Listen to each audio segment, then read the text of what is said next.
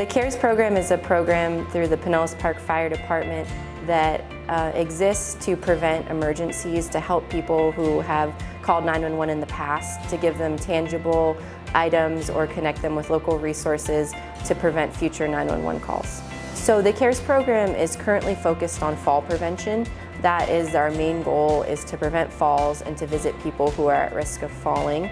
Falls are one of the top calls in the county for EMS help. So that's why that's one of our main goals right now. And we were doing some um, some data research and we were looking at some of the calls that we were going on and um, what were some of these trends that were taking place back in 2019 uh, before COVID really hit. And uh, what we noticed was that there was a lot of calls that we were going to to the same addresses.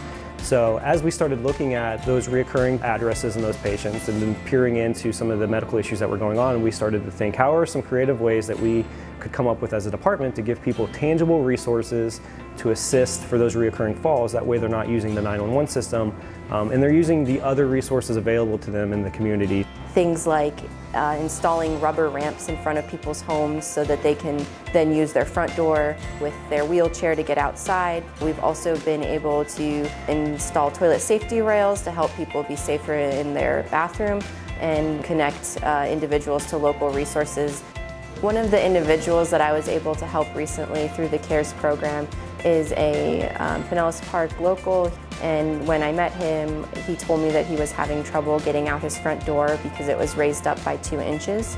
So one of the things that the CARES program was able to do for him was to get a rubber ramp so that now he could just go in his front door forwards and I know that that made a big impact on his everyday mobility and that it was something good that we could do for him.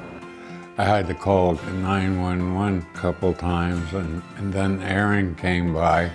We discussed several things, and the ramps were one of the items that we covered because the problem of getting in and out of the, the front door.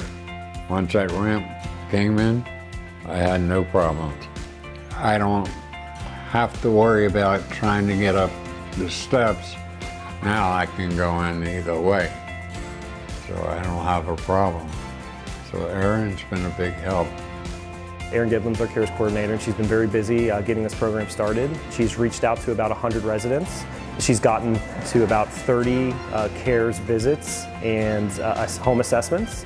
Those individuals that we've gotten with, so those out of the 30-ish people that we've contacted with, they've produced 108 falls. Um, and we have not had one of those individuals call 911 again since we've reached out to them. We're being a good neighbor, we're being good community members, um, and we're just helping individuals that live here um, just live fruitfully and, and have a successful life.